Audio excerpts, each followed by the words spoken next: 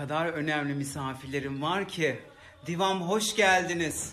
Ah canım teşekkür ederim. Sizlere layık değil ama bir şeyler Aa, hazırlattım. yok, ellerine sağlık. Ee, Pek güzel. Beğendiniz mi? Anlıyorsun bu işten demek. Ben ki. anlıyorum ev kadınıyım ben çünkü. Oh, aferin. Ben hiç bilmem. Siz Hiç olsun. anlamam. Sadece yemeği bilirim. Afiyet. İyi gurmesiniz ama. Öyleyim. Çok, iyi anlarım. çok Her şeyden iyi anlarsınız. İyi anlarım da yapmam. Ya boş verin. Siz yapmayın. Siz okuyun. Canım benim. Siz sağ okuyun. Teşekkür Ne yapıyorsun kız? Sizle konuşmuyorum. Bülent Hanım burada.